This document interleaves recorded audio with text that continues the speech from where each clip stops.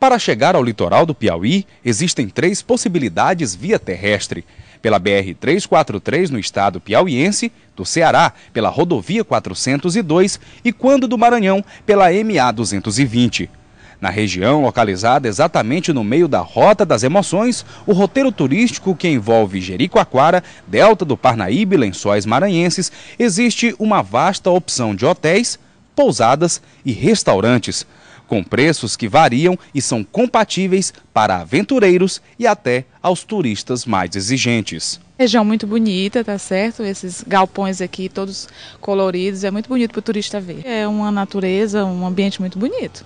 A região litorânea do Piauí é composta pelos municípios de Cajueiro da Praia, Luiz Correia, Parnaíba e Ilha Grande.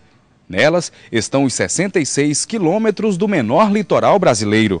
São praias paradisíacas e praticamente virgens. Aqui é possível encontrar passeios ecoturísticos para ver o cavalo marinho que habita as praias da Barra Grande e Macapá bem como o berçário de várias espécies de tartarugas que desovam em praticamente toda a orla piauiense. As condições climáticas são propícias para a prática de esportes aquáticos como kitesurf. Nos últimos anos, o coqueiro da praia em Luiz Correia foi descoberto pelos amantes dos esportes radicais de todo o mundo.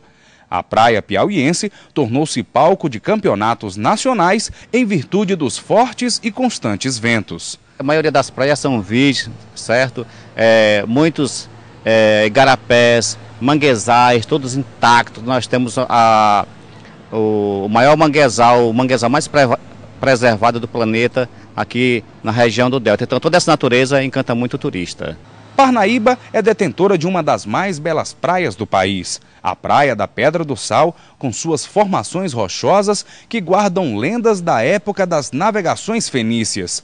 Possui duas linhas de praia, uma delas com forte rebentação, bastante frequentada pelos surfistas, e de outro, águas calmas próprias para o banho em família. Este é o centro histórico de Parnaíba, popularmente conhecido como Porto das Barcas, que fica às margens do rio Igaraçu.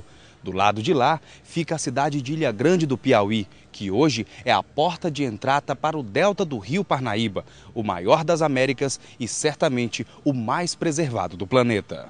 Os especialistas afirmam que a vida começa aqui, no delta do rio Parnaíba. São ilhas e igarapés de onde a vida animal e vegetal habita em verdadeira simbiose.